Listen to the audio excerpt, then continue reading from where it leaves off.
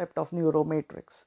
As explained before, pain theory, pain gate theory was a brilliant theory to explain the pain arising from inflamed tissues and joints. How about pain experienced when there is no active inflammation? Amputees without their limbs could still experience pain arising from that limb. What could be the explanation for this?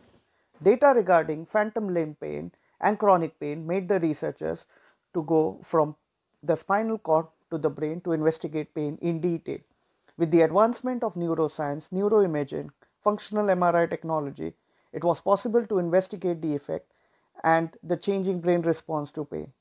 It was noted that neither the cortex nor the thalamus was the center of the pain, rather, it was the complex interplay and the interaction of these areas along with the limbic system and diffused brain areas, which gave rise to the sensation called pain.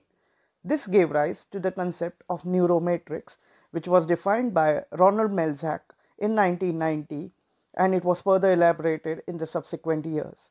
The loop and the interplay and uh, between these areas was genetically determined and sculpted by the external inputs.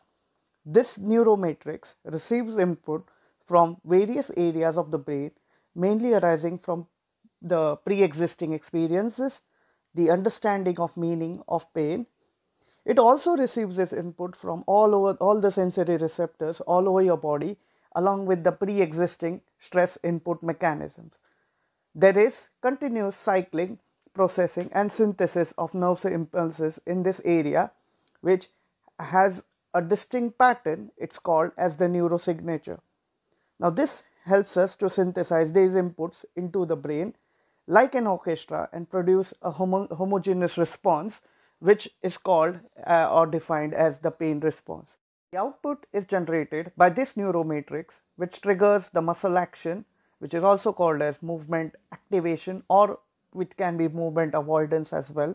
The stress and the hormonal response to the pain along with the unconscious justification and meaning to the reasoning for this pain. Neuromatrix is as defined before pre genetically predetermined and each individual has a distinct neuromatrix. With the growth and exposure to stress, stresses and inputs, transformation occurs in neuromatrix Due to this, there is a cyclical processing and synthesis which gives rise to uh, production of many possible patterns. This trial and error happens till one pattern emerges from the circumstances of the movement moment which is happening. In this way, the input and the output are synthesized in parallel, which permits smooth continuous stream of action patterns. This further accentuates the greater variability in the pain response which is felt by different people. Inputs like pain understanding, past negative experiences, changes in weather may influence the neuromatrix. This, uh, this may sometimes lead to patterns causing activity avoidance, fear of movement, increased cortisol release, causing greater weakness, long term weakness in muscle, bone, and ligaments. This may justify the rationale for chronic pain.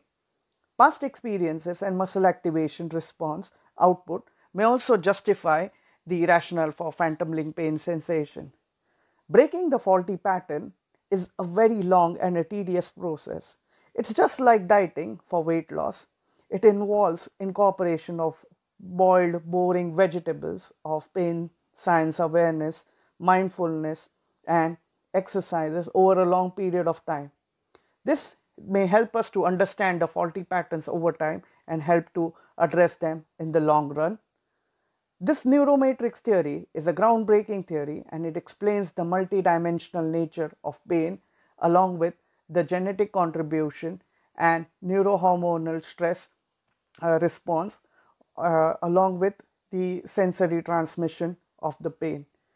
Now, this has made pain science inclusive to the addition of endocrinology and immunology to this uh, arena. This also further solidifies the rationale for exercise rehabilitation, pain science education, and cognitive behavior therapy for the best, best management of pain. Thank you very much.